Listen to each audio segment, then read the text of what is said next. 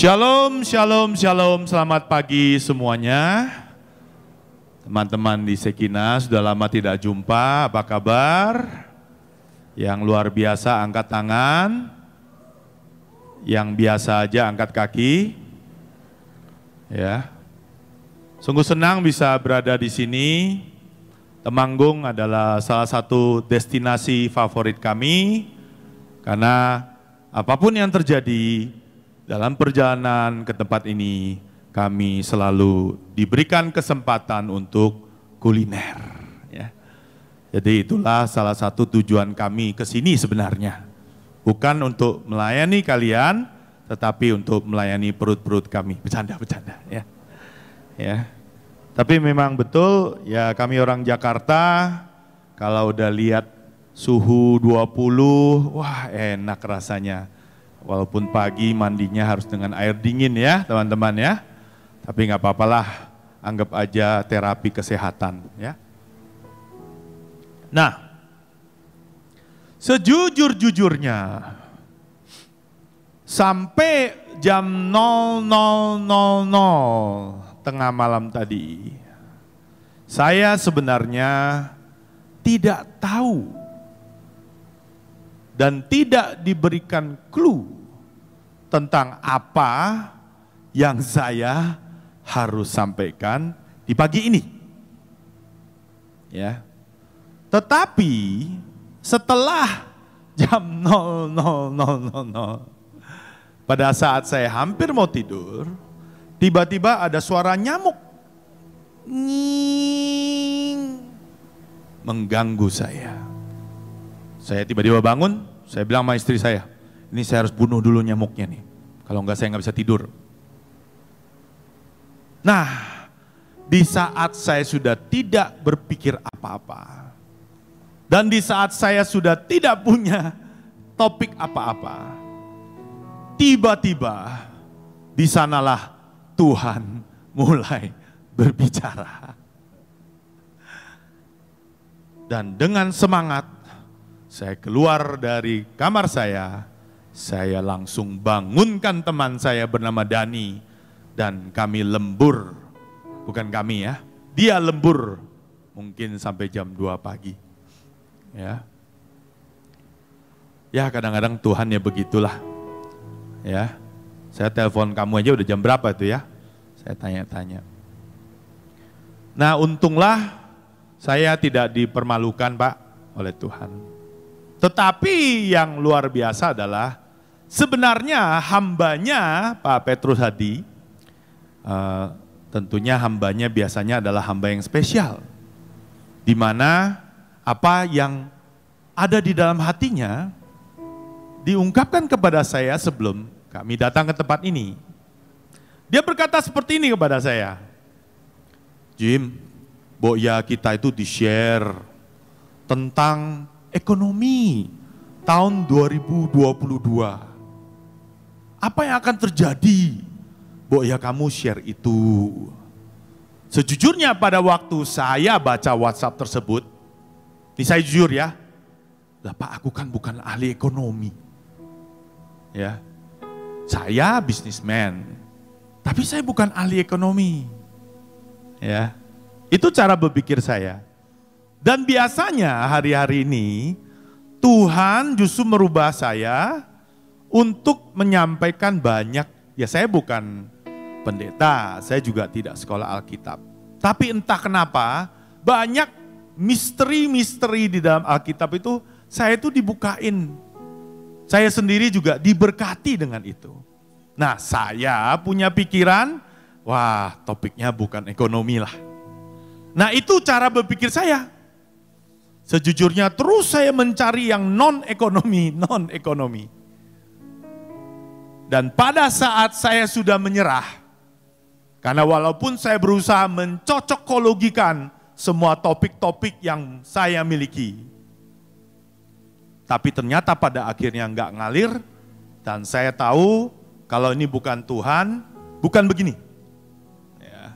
Ada yang bilang, kamu bawa soal A. Ya saya pikir itu ya, yuk kita siapkan. Terus gini-gini. Tapi kok nggak ngalir? Coba bawain soal B, gitu kan. Tapi kayaknya bukan. Nah sampai kepada pada saat saya sudah mau tidur, pada saat saya sudah mau rest, di sanalah Tuhan mulai berbicara. Nah yang mengagetkan saya, dan saya tahu itu Tuhan, ternyata topiknya itu tidak jauh dan tidak lebih dari apa yang sebenarnya menjadi pembahasan saya dengan teman-teman, even pada waktu kami kuliner, kulineran ya kemarin. Hari-hari ini sejujurnya banyak sekali terjadi perubahan di dunia kita ini. Ya. Terutama tentang Covid tentunya. Covid has changed the way things are being done. Artinya, COVID merubah, mentransformasi banyak hal. Banyak hal yang tidak pernah terpikirkan oleh kita-kita sebelumnya, tiba-tiba muncul, tiba-tiba menjadi besar. Nah, kita-kita secara uh, orang awam tentunya harus sangat mengawasi dan mengerti itu. Ya. Ada tren-tren terbaru di dalam ekonomi ini yang berubah. Ya, ada masa demi masa, tetapi ada juga perkembangan demi perkembangan, di mana mungkin 10 tahun yang lalu, hal-hal seperti ini tidak mungkin akan bisa kita pikirkan. Tetapi banyak hal aneh bin ajaib yang terjadi. Dan ini bukan hanya terjadi, tetapi ini sudah ada di depan mata kita. Lah ya apa itu Pak? Dulu saya masih ingat ya, Pak Hadi sering membawakan satu tema yaitu Isakar. Ya. Isakar adalah suku Israel, ya. Yang kita tahu apa spesialisnya? Mereka adalah orang-orang yang mengerti tentang zaman, ya. Artinya mereka tahu kapan harus masuk dan kapan harus keluar. Kapan harus melakukan A dan kapan harus tidak melakukan. Nah, Salah satu yang saya katakan kepada anak saya sendiri, saya tanya kepada dia, Josh, kamu kalau sudah besar kamu mau jadi apa? Beberapa tahun yang lalu dia jawab kepada saya, I want to be like daddy. Ya. Saya bilang, you are wrong. Kamu salah. Loh, kenapa salah? Karena saya bilang, pada saat nanti kamu sudah sekolah selesai dan selesai kamu kuliah, mungkin apa yang Dedi kerjakan sudah tidak lagi relevan dengan zaman yang berkembang sedemikian cepat Saya katakan itu sejak beberapa tahun yang lalu bahwa nanti pada saat kamu selesai kuliah, yang kamu harus lakukan adalah kamu sekolah baik-baik, kamu kuliah dengan benar, dan pada saat nanti di waktu kamu mendekati waktu kamu bekerja, kamu harus cari tren atau something yang sesuai dengan zaman itu. Sebab saya percaya kalau kita sekarang ngomong www atau World Wide Web. Kalau kita bicara itu 20 tahun yang lalu, tidak mungkin. Ya, itu termasuk orang tua saya sendiri. Saya dulu pernah mau jadi dan sekolah di computer science. Tapi pada waktu saya kecil, orang tua saya bilang sama saya, kamu stop main komputer. Ya, tukang komputer bisa jadi apa? Tetapi beberapa puluh tahun setelah itu, Apa yang terjadi? Yang terjadi adalah justru bilioner-bilioner dunia itu berasal daripada industri komputer. Ya, Bill Gates. Ya. Orang-orang Google. Semua mereka adalah bilioner-bilioner dunia yang menguasai teknologi. Saya cuma mau menekankan adalah kita sebagai anak-anak Tuhan juga harus sangat mengerti tentang yang namanya musim. Ya. The season. Cara-cara yang lama tidak akan relevan dengan musim yang baru. Jadi kita harus terus di dalam Tuhan, terus bergerak bersamanya. Karena dunia terus bergerak, kalau kita berjalan di tempat, kita tidak akan ke mana-mana. Nah apa yang terjadi di dekat kita? Ini sesuatu yang mengagetkan kami beberapa hari belakangan ini. Di mana dia memanfaatkan sesuatu yang sangat trending ya di dunia teknologi sama uh, saat-saat ini yaitu namanya blockchain ya. nggak tahu nih ya teman-teman di sini ada nggak yang tahu soal blockchain saya mau minta tolong angkat tangan blockchain. Ada yang tahu soal blockchain? Angkat tangan. Gak ada yang tahu? Satu. Berdiri. Gak ada yang tahu sama sekali? Atau malas angkat tangan? Oke. Nah, blockchain adalah sebuah teknologi menjadi dasar atas Bitcoin. Nah, mungkin kalau Bitcoin pada ngerti ya. Siapa yang tahu Bitcoin? Tolong angkat tangan. Giliran Bitcoin ada duitnya, ya udah pada tahu semua. Ya, ini pancingan ya. Itu berarti kalian tuh masih terikat dengan roh mamon ya. Oke.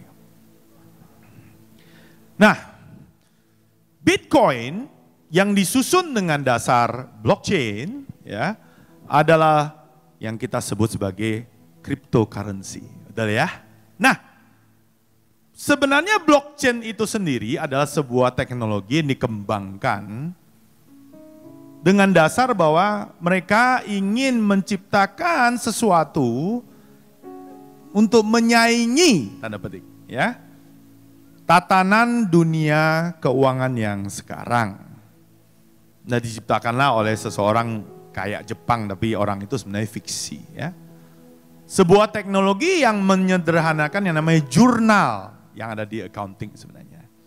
Jadi dia begitu enkripsinya begitu bagus sehingga begitu populer. Nah, dari teknologi ini diciptakanlah sesuatu namanya NFT non-fungible token. Nah, intinya gitu. Ya, ada yang tahu istilah NFT? Tolong angkat tangan. Oh, lumayan ya. Nah, tiba-tiba di dalam internet ini ya, itu ada sebuah marketplace yang baru. Banyak orang menjual gambar-gambar aneh ya dengan harga yang sangat-sangat fantastis. Nah, kalau gambar-gambar seperti monyet ya, gambar-gambar seperti robot ya. Bagi saya itu masih ada ceritanya. Masih ada cocokologinya. Ada dasarnya kenapa itu monyet kok bisa terkenal. Sehingga banyak sekali uh, artis-artis Hollywood memiliki gambar-gambar monyet yang jelek-jelek yang menyerupai diri mereka. Dan harganya sangat fantastis. Kita bukan cerita jutaan, juga bukan cerita ratusan juta, tetapi miliaran. Puluhan juta dolar Wow, that's quite amazing. Saya menganjurkan Bapak dan Ibu di sini untuk mulai start melihat dan membaca. Siapa tahu ada sesuatu yang bisa kita karyakan di sini. Nah, saya mau bawakan seseorang yang sangat spesial. Yang sedang menghebohkan dunia maya Indonesia. Ya. Tolong tampilkan gambarnya. Ya, orang ini sangat fenomenal, saudara-saudara. Namanya saya baca ya, biar pas. Nama aslinya orang ini adalah Sultan Gustav Al-Ghazali. Ya, nickname-nya Ghazali Everyday. Iki wong Jawa. Ya, orang Jawa. Nah, apa yang dia lakukan? Nah, di dunia blockchain ini ada satu marketplace namanya OpenSea. Kita bayangkan bahwa itu adalah sebuah tempat jualan gambar. Ya. Nah, orang ini kebetulan dia punya suatu project, ya, project di mana dia mengambil selfie daripada dirinya sendiri dari sejak dia umur 18 tahun sampai 22 tahun. Bayangkan ya, dari umur 18 tahun dia selalu konsisten mengambil selfie dari mukanya yang sangat ganteng ini ya hampir selama empat tahun berturut-turut. Nah tujuan awalnya apa? Tujuan awalnya dia mau bikin time lapse. Mukanya tetap sama, tapi backgroundnya berubah-berubah terus. Jadi keren kan? Nah, ini nggak bisa ditampilkan, ya.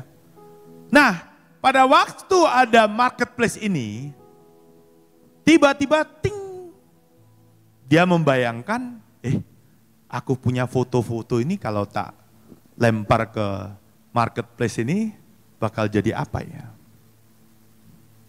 Tentunya pada saat dia buang itu banyak orang ngebully dia. Tampang pas-pasan kayak gini mau menampilkan apa. Tapi saudara, coba tampilkan ya.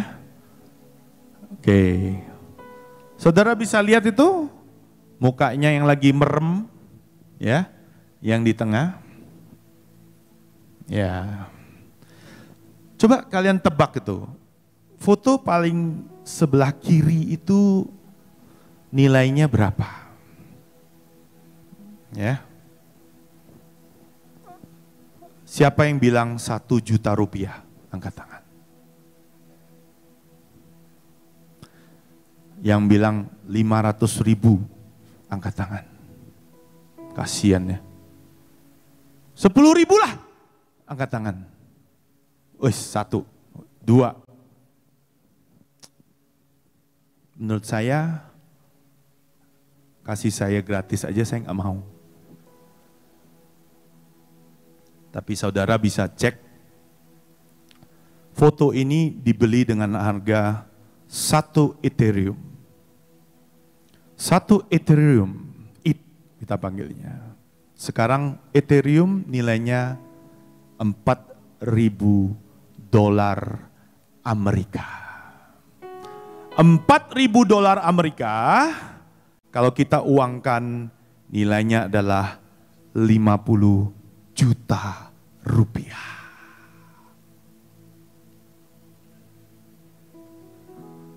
Gak ada bu, gak ada, gak asik di sini. 50 juta Bapak dan Ibu. 50 juta rupiah. Sudah dibeli yang beli ini, salah satunya yang kalian pasti kenal, namanya Chef Arnold. Dia beli dua dengan harga yang fantastis seperti itu. Satu it, Ada yang setengah it, setengah itu 25 juta, bro. Dan bla bla bla. Nah, orang ini sekarang sudah mengantongi di dalam kantongnya langsung satu setengah M. Serius. Coba deh, nanti kalian browsing. Ah Pak Jimmy nggak bohong, browsing aja. Ada yang bilang 3T itu ngaco itu salah.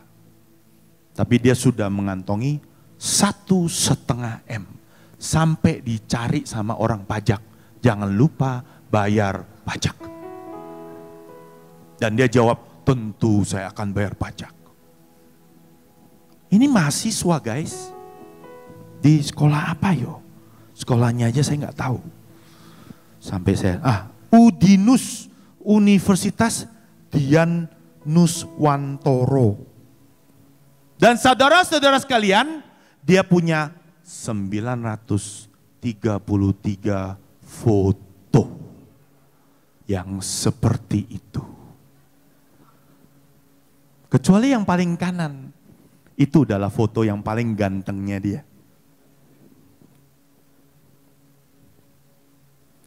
Kalau 933 semuanya laku nanti setengah dolar aja. Berarti dia punya 500 it. Gampang hitungnya, kalau 1000 it kali 4000 dolar. Berapa teman-teman? Sampai bingung ya angkanya kebanyakan ya. 4 juta dolar diuangkan sama dengan 56 miliar. Miliar. Halo, miliar rupiah. Hanya jual foto. Susah ya cari duit ya zaman sekarang ya. Sampai saya diolok-olokin teman saya. Bilang, bro, bro, lu susah-susah kerja, pertambangan modal gede, ya ngapain? Bandingin orang ini nggak ngapa-ngapain, cuma selfie doang tiap hari dengan 933 pose yang berbeda. Ada yang pakai baju, ada yang lagi merem. Ngapain lu kerja tambang? itu cukup menyentuh hati saya. Makasih atas tegurannya ya. Tapi saudara, yang saya mau katakan kepada saudara adalah, apabila saudara berpikir bahwa cari uang itu susah, salah. Tetapi, apakah saudara bisa seperti dia? Itu pertanyaannya. Nah, ini adalah bisnis yang anti COVID.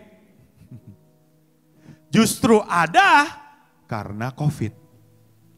Mungkin banyak orang stres di rumah, adalah saya tak beli ini aja.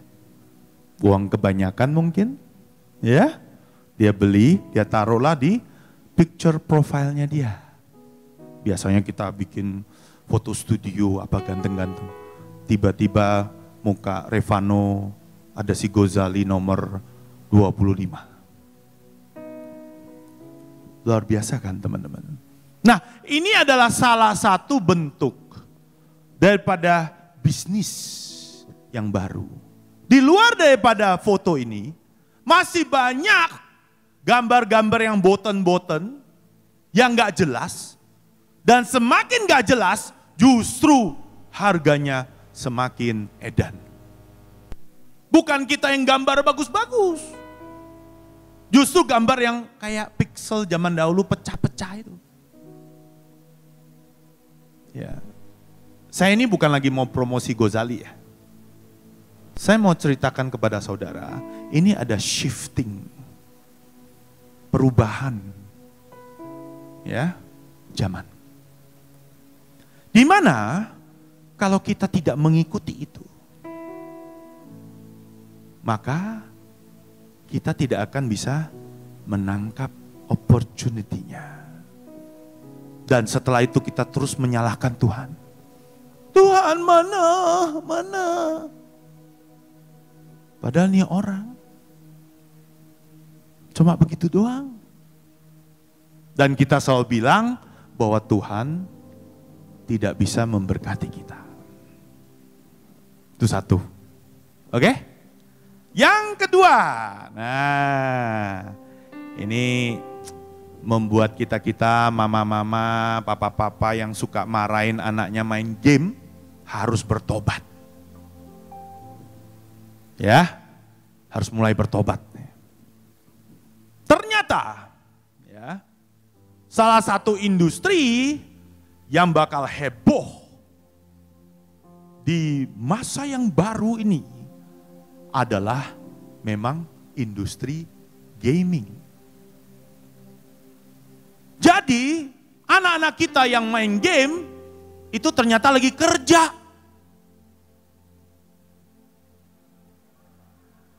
Oh, bapak-bapak emangnya juga main game ya? Itu mah males. Ternyata anak-anak kita ya itu sedang latihan kerja. Nggak percaya? Nah, ini juga sesuatu yang menakjubkan saya. Game ini justru mewabah, namanya XC Infinity. Ya. Nah, yang memiliki platform game ini bukan orang Amerika, bukan orang Israel, bukan orang Yahudi, tetapi orang Vietnam. Vietnam ke sini nggak jauh ya udah ya. Nah, game ini sampai mendapatkan penghargaan dari PBB. Serius. United Nation, saya lupa itu UNICEF atau mana, memberikan penghargaan kepada game ini karena sudah membantu masyarakat terutama mereka ambil case Filipina pada waktu zaman COVID. Di mana pada saat itu mereka tidak ada yang bisa kerja, tidak ada penghasilan, tidak bisa ngapa-ngapain. Nah, ternyata ada game di mana mereka bisa bermain dan bisa menghasilkan uang. Dari bermain game ini saja, Dulu waktu zaman masih di awal-awal, mereka bisa dapat 1000 sampai 2000 dolar per bulan. Ya. Itu yang saya katakan ini adalah baru jokinya saja. Eh, joki apa? Game ini begitu dahsyatnya, ya kita tampilkan aja ya. Nah, ini sulit sekali cara main gamenya. Ya, ini seperti Pokemon. Ya, cara main gamenya adalah dengan menggunakan teknologi yang namanya pencet. Ya, tinggal pencet satu tombol saja. Monster yang sebelah kiri lawan monster yang sebelah kanan. Siapa di sini yang tahu Pokemon? Tolong angkat tangan. Tahu ya? Nah, Pokemon-Pokemon ini, monster-monster kecil ini berantem. Yang menang dapat namanya potion. Nah, potion ini dikumpulkan. Ternyata potion inilah duitnya. Potion ini juga yang kalau diminum oleh monsternya itu bisa menjadi monster-monster yang lain. Nah, kalau monster ini sudah berantem terus-terusan, naik level, naik level, monster juaranya nilainya ratusan ribu dolar.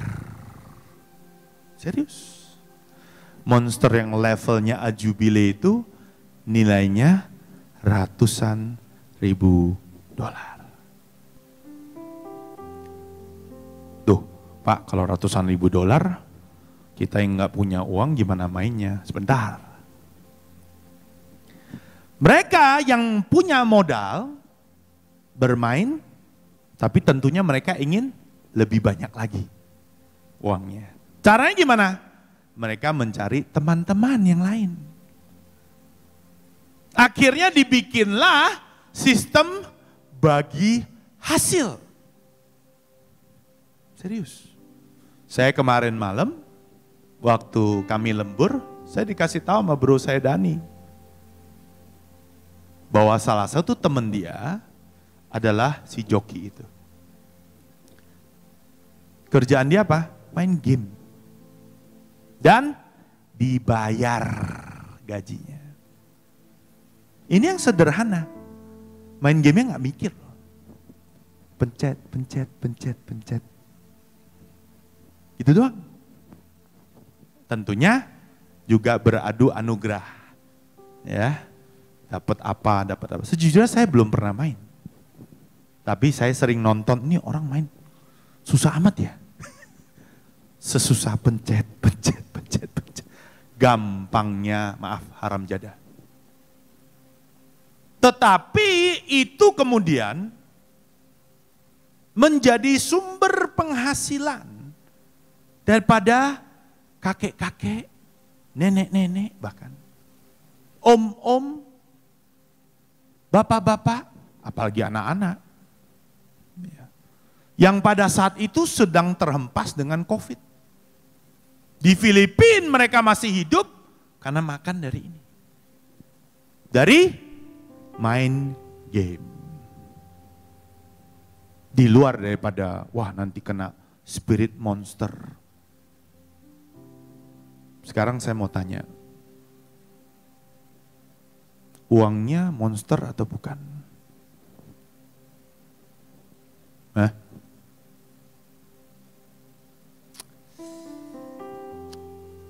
Banyak cara.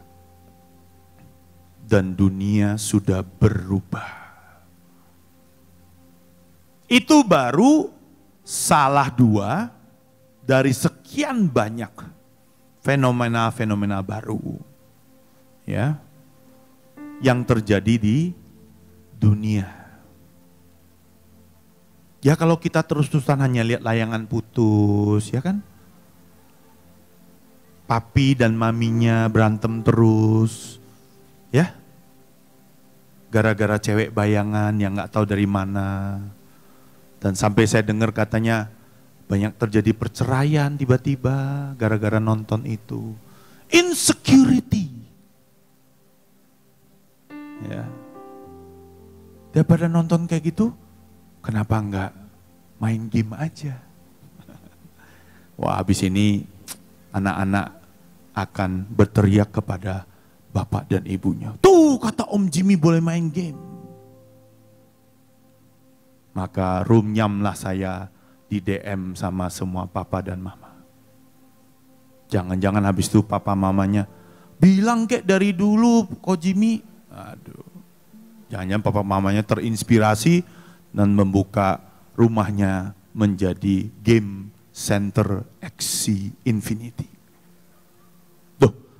Kalau saya diberikan kesempatan untuk mengetahui ini lebih dalam, saya akan kumpulkan itu fenomena-fenomena dengan gambar-gambar bagaimana engkong-engkong, om-om, nenek-nenek lagi main game. Bener, ini benar terjadi guys. Sebentar lagi ini akan datang di sini. Sebenarnya sudah ada, cuma biasanya kalau sesuatu yang bagus, enak itu orang keep secret. Karena ini bukan sesuatu yang sulit. Bahkan kita yang nggak punya uang, tinggal masuk ke namanya Discord. Nah, siapa di sini yang tahu Discord? oh, ada beberapa aja. Revano terus angkat tangan dari tadi. Tahu bandel atau memang banyak duit gara-gara main gituan. Kita dari dulu taunya apa? WhatsApp. mentok Line. Sekarang ada satu chatting system namanya Discord. Di mana semua anak-anak kita mayoritas pasti sudah punya. Papa dan mamanya nggak tahu. Tapi di situ ternyata industri gaming termasuk ini sangat populer. Dan di situ kita bisa menawarkan diri menjadi joki. Masih marahin anak kita main game. Masih marahin anak kita chatting terus. Mereka lagi kerja bro. ya, loh ironis kan? Dulu kalau kita ngomong gitu, wah Pak Jimmy sesat. Coba aja sekarang lu ngomong sesat atau enggak. Tuh nyata guys. But do you really understand what is happening out there? Atau kita akan ketinggalan dan terus berteriak kepada Tuhan, mana Tuhan, mana? Udah di depan mata lu bro. Mau tahu tren? Ini baru salah dua. Kalau kita terus menyalahi musim, waduh ini musim tembakau. Hujannya kelebihan, ntar hujannya kurang. Waduh saya jualan ini, yang mau beli siapa? Ini gini, ini gini. Ya maaf, tentunya semua orang memiliki kesusahan masing-masing. Kita semua juga bisa susah. Saya beberapa bulan lalu juga lagi susah. Tapi saya percaya satu hal. Selalu ada jalan. Selalu ada. Hanya kepada siapa yang bisa menangkapnya. Ini baru salah dua. Nah, yang lebih fenomenal lagi. Nah, ini bukan tentang cari duit. Ini siapa tahu bisa menjadi inspirasi bagi tempat ini. Ya.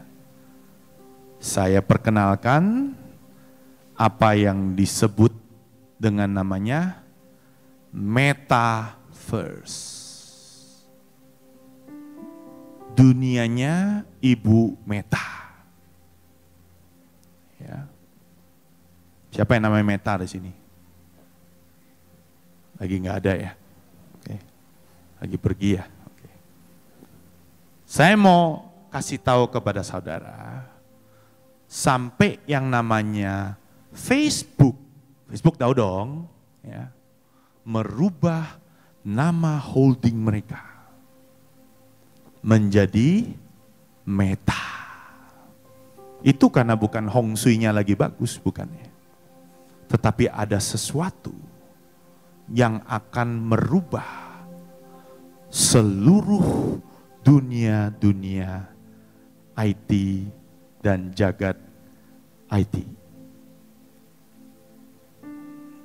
Nah, metaverse ini, sekali lagi mohon maaf kalau saya punya waktu banyak, saya bisa tampilkan banyak slide, tapi karena baru tengah malam, izinkan saya hanya bercerita. Metaverse ini adalah sebuah dunia di dalam blockchain atau internet. Mungkin bapak dan ibu punya anak main satu game yang namanya Minecraft. Ya. Mungkin bukan bapak dan ibu, mungkin juga kalian yang ada di sini. Ya. Ada satu game namanya Minecraft. Tahu ya? Minecraft itu baru salah satu aja.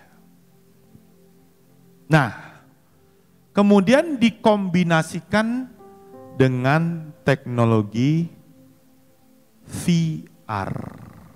bisa VR atau tidak ya. Virtual reality atau augmented reality. Ini Pak Jimmy ngomong apa sih? Sabar sebentar ya.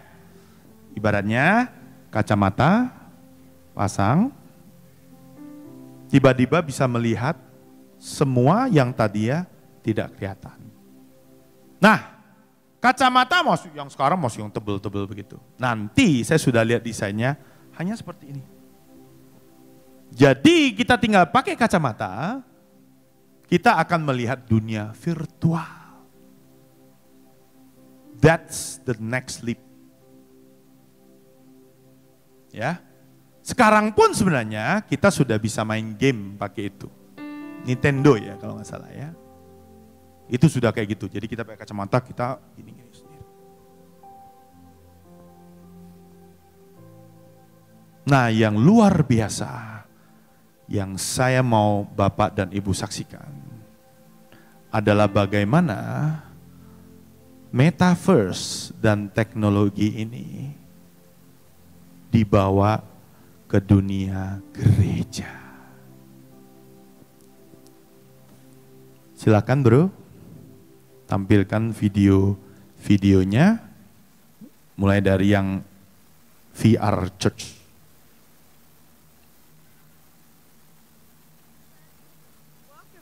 Virtual Reality Church. My name is Alina, and I'm a pastor here at Virtual Reality Church.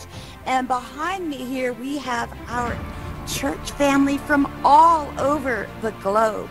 And everyone is welcome at Virtual Reality Church. It doesn't matter if you believe in God or not. So grab a headset and download AltSpace Rec Room or VR Chat and come experience something that you have never experienced before. Yang nextnya Life Church.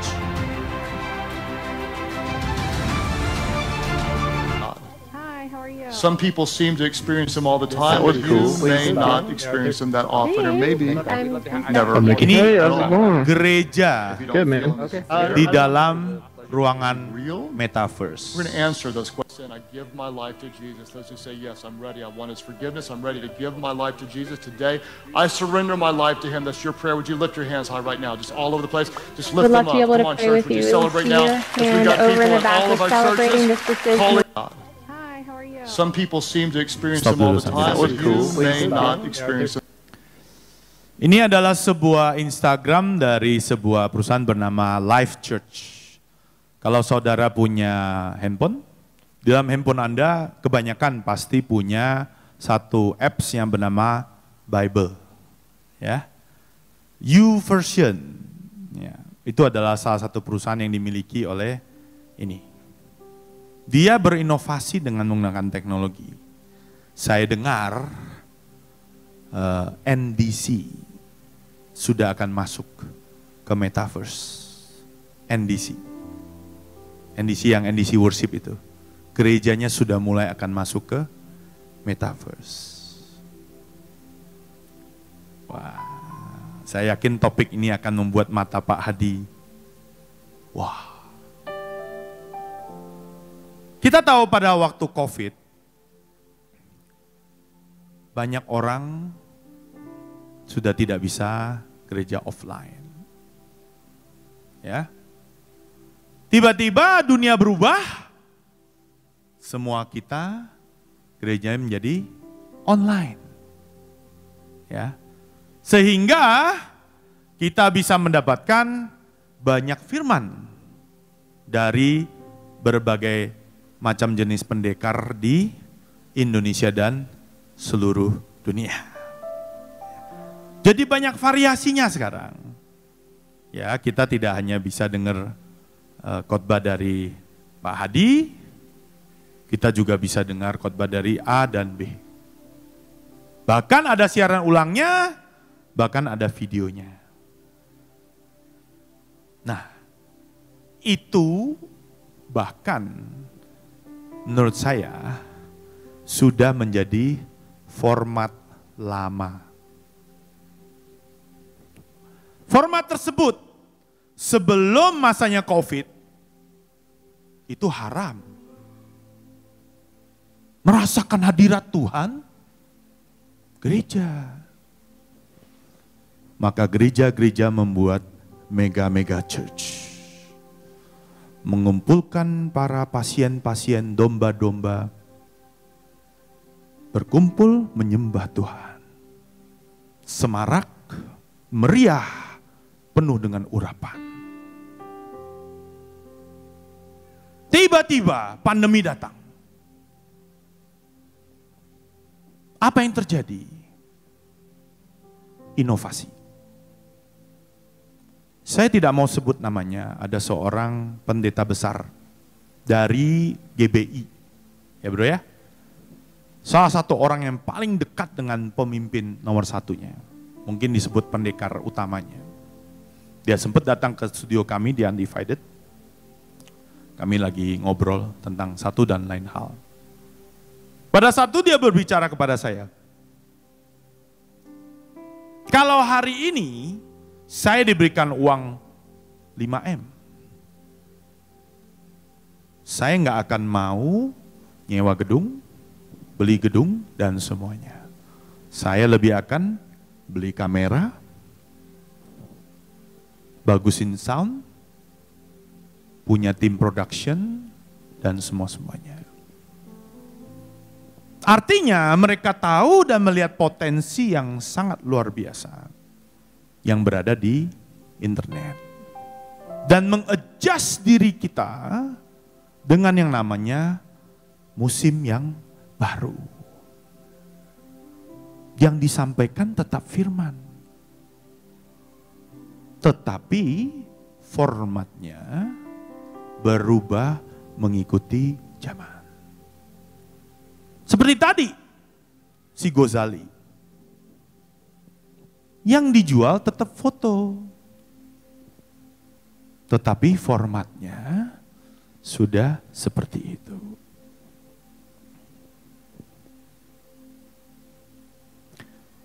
Sering saya mengkhawatirkan apa yang akan terjadi kepada anak-anak saya, saudara-saudara saya yang depan ini, yang sebenarnya tidak begitu terbiasa dengan kita-kita yang sudah terlebih dahulu berada di dalam lingkungan gereja. Mereka sudah dan akan terus bermain. Suka tidak suka, ini adalah tren. Sesuatu yang sudah terjadi dan akan terus berlanjut. Nah, kalau zaman nanti berubah, apa yang akan terjadi dengan anak-anak kita? Tetapi melihat ini, saya cukup lega Artinya akan ada anak-anak generasi X, Y, Z, apa, bla bla.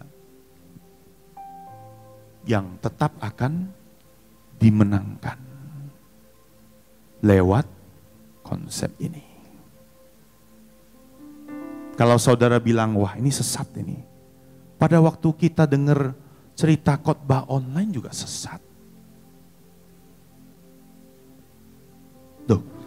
Kalau disampaikan tetap adalah khotbah, tetap adalah firman, dan anak-anak kita dengan avatarnya mau duduk di sana,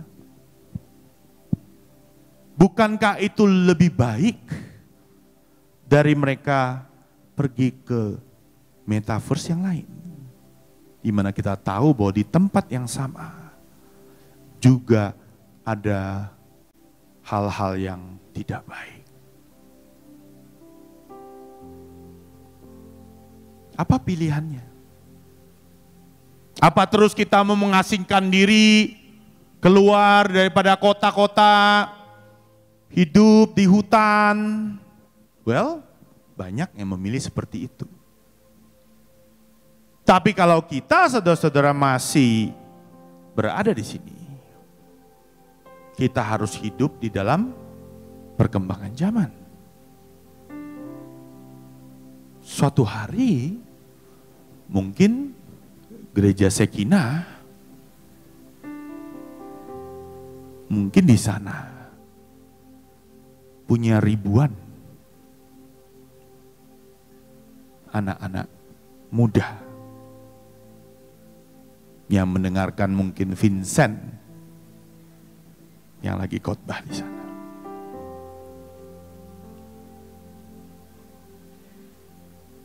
Ini akan sangat menabrak cara berpikir kita, ya. Konsep kita tentang ekonomi, konsep kita tentang gereja. Konsep kita tentang berbisnis. Dan semua itu memang tidak ada yang pasti. Tetapi yang pasti cuma satu, yaitu change, perubahan.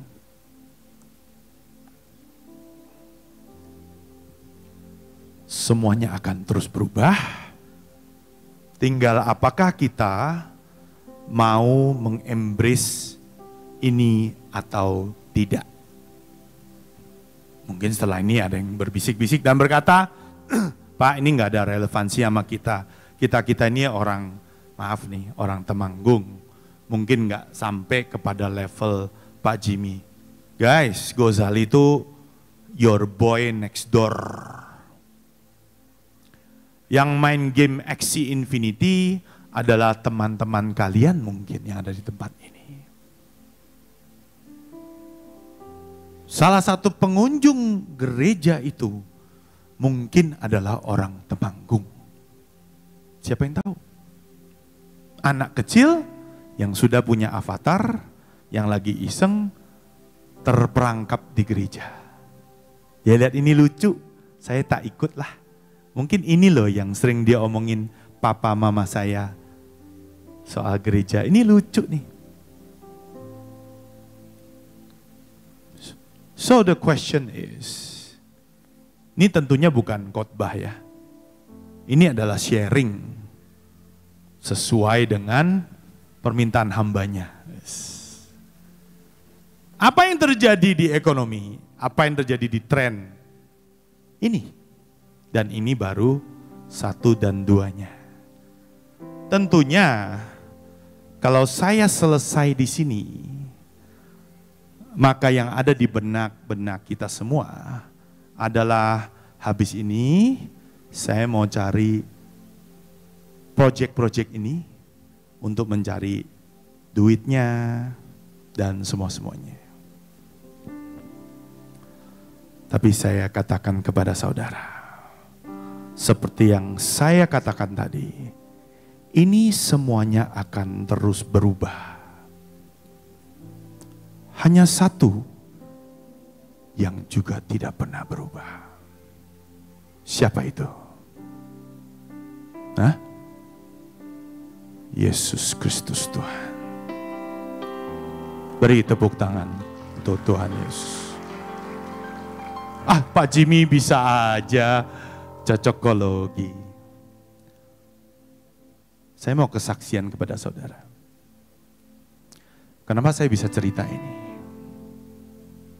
Karena ini adalah salah satu musim barunya saya.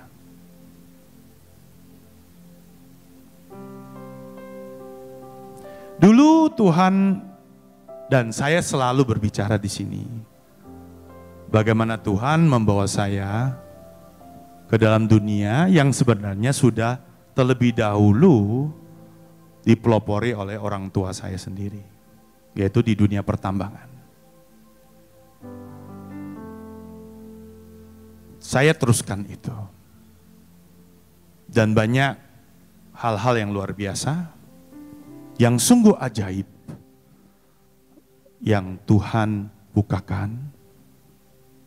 Sekian banyak hal yang tidak mungkin bisa diberikan kepada seorang seperti saya. Tetapi toh, itu sesuatu yang diberikan. Tapi kemudian di tahun 2019 ada seorang hamba Tuhan bernubuat kepada saya. bahwa suatu hari nanti semua usahamu di bidang ini terutama itu akan kamu jual. Di dalam benak saya, saya pikir gak mungkin lah. Saya mau kerja apa? Saya orang tambang, ya pasti dunia tambang. Dan tiba-tiba saya pernah share sedikit, cuma ini banyak yang harus disensor, jadi saya nggak bisa cerita ya. Karena satu dan dua, tiga, empat hal, saya terpaksa harus menjual semua bisnis pertambangan saya. Terpaksa. Nah, pada waktu itu terjadi, saya dan teman-teman saya sedang ada di dalam suatu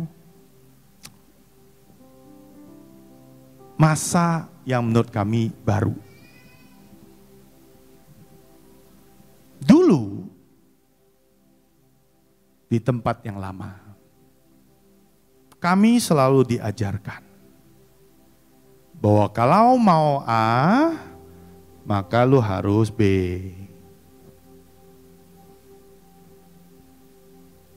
Untuk supaya selamat, kamu harus begini.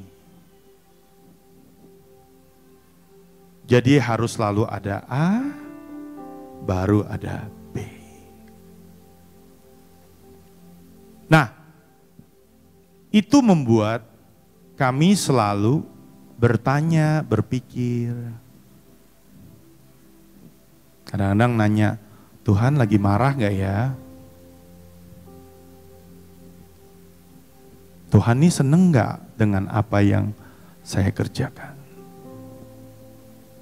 Ada gak yang salah terhadap yang saya kerjakan? Mungkin karena celah, maka ini terjadi. Selalu hidup di dalam intimidasi.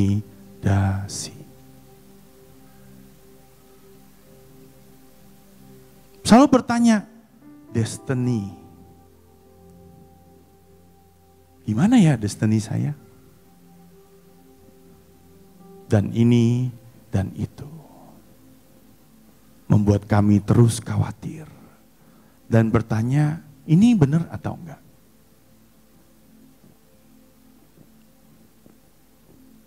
Tapi hari ini saya mau katakan kepada saudara.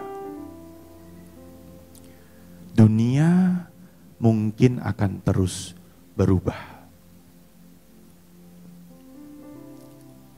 Cara kita berusaha mungkin akan terus berubah. Musim pasti akan terus berganti. Tapi tidak pernah di dalam hati saya, saya pernah meragukan Tuhan Yesus saya. Karena saya tahu bahwa dia selalu mereka-reka segala sesuatu untuk dan hanya mendatangkan kebaikan. Saya tahu Tuhan ada di dalam saya. Ke mana pun saya pergi, apa pun yang saya lakukan, saya adalah milik Tuhan.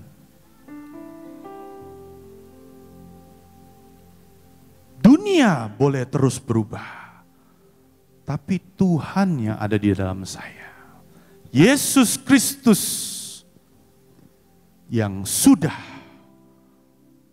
berada di dalam hidup saya ini, akan terus membawa saya maju ke depan.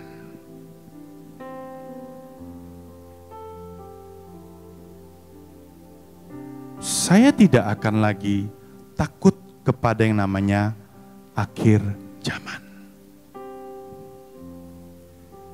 Karena for me, now is heaven.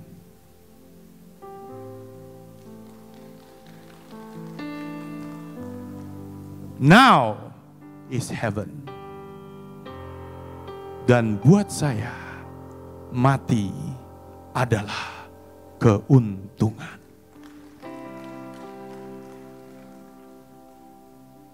Jadi kalau kita sudah punya prinsip seperti ini, mau metaverse kek, mau NFT kek, selama kita punya Tuhan yang sedemikian besar, yang kita tahu dia yang sudah menyelamatkan kita, memiliki kita, bukankah ini semua juga adalah mainannya.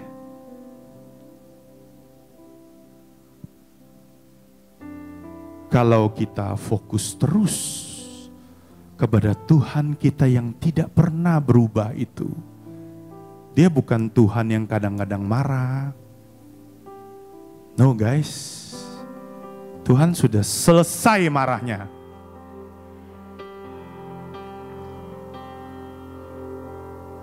Keselamatan sudah ada di dalam kita. Kita tidak perlu lagi manusia yang lain berkata ini dan itu. Sebab dia yang di dalam kita lebih besar daripada yang ada di dunia.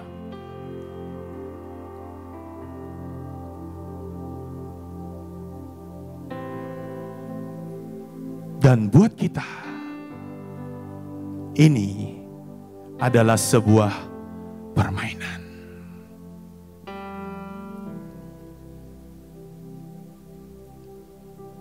Jika kalau kita paham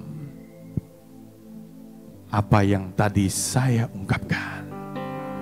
Fokus kita bukan lagi kepada ini dan ini dan ini yang terus akan berubah.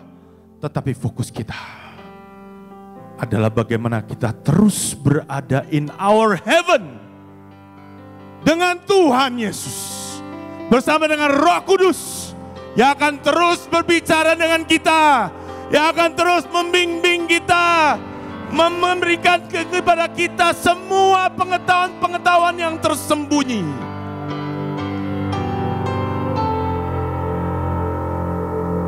Sebab zaman akan berganti. Dan mungkin yang kita pikir, oh ini sekarang zamannya tambang. Mungkin Tuhan ambil karena memang sudah selesai. Masuk ke zaman ini. Katanya Isakar bersama dengan Tuhan Yesus yang sudah ada di dalam kita. Yang tidak akan pernah mengecewakan kita.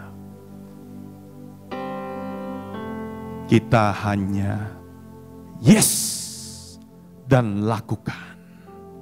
Kalau seseorang seperti Gosali everyday, itu bisa mendapatkan jutaan dolar. Bukankah hal itu terlalu kecil buat Yesus sekalian? Tetapi pada saat kalian memegang ini, pada saat musimnya sudah lewat, kalian akan terus memegang.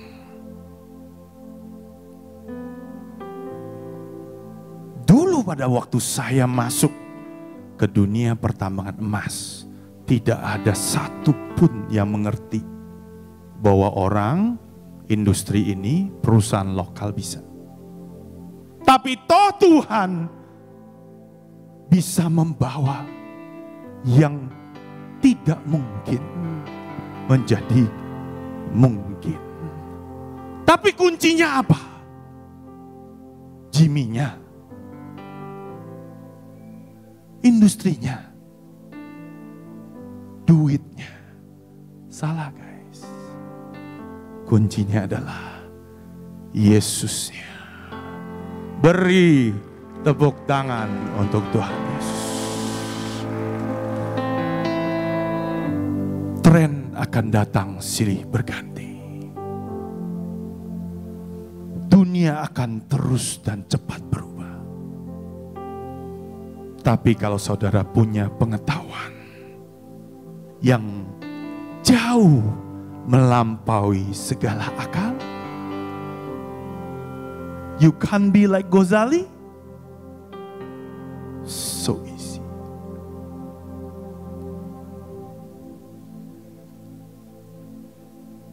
Lumayan cocok ya cocokologi saya.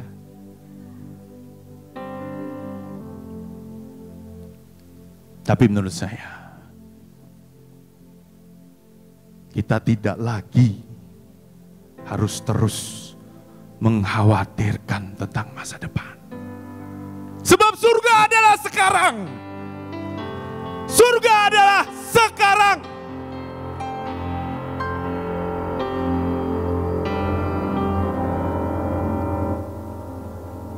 Sekarang Tuhan ada bersama dengan kita semua.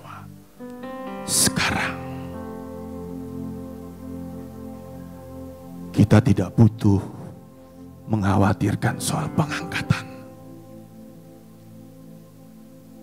Selama kita terus bergaul, bersekutu dengan Tuhan Yesus Kristus kita. Beri kemuliaan untuk Tuhan yang Maha Besar.